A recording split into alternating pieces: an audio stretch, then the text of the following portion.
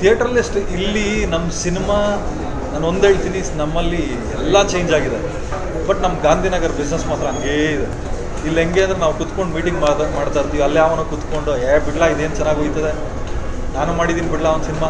ಹಿಂಗೆ ಸೊ ಈ ಥರದ್ದು ನಮ್ಮ ಇಂಡಸ್ಟ್ರಿ ಇರೋದು. ನಾನು ಹೇಳೋದಿಷ್ಟೇ, ದಯವಿಟ್ಟು ಕೋವಿಡ್ ಬಂದಮೇಲೆ ನಾವೆಲ್ಲರೂ ಬದುಕಿದ್ದೀವಿ ಅಂದರೆ ನಾವೆಲ್ಲ ಪುಣ್ಯವಂತರು. ಇನ್ನೊಂದು ಸಿನಿಮಾ ಬಗ್ಗೆ ನೀವು ಕಮೆಂಟ್ ಮಾಡಿಬಿಟ್ರೆ ನಾನು ಕಮೆಂಟ್ ಮಾಡಲ್ಲ.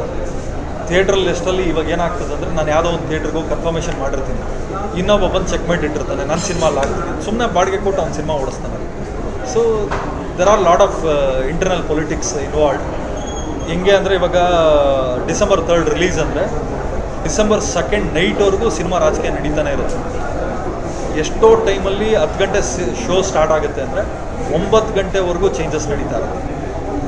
ಇದೊಂದು ಸಿಸ್ಟಮ್ ಇದೆ, ನಾವು ಯಾರನ್ನೂ ಬೈಕೊಳಕ್ಕಾಗಲ್ಲ ಆ ಸಿಸ್ಟಮಲ್ಲಿ ನಾವು ಬದುಕೊಂಡು ಅದನ್ನೆಲ್ಲ ಬೇಯಿಸಿ ಬ್ಯಾರಿಯರ್ ಬ್ರೇಕ್ ಮಾಡಿನೇ ಹೋಗಬೇಕು.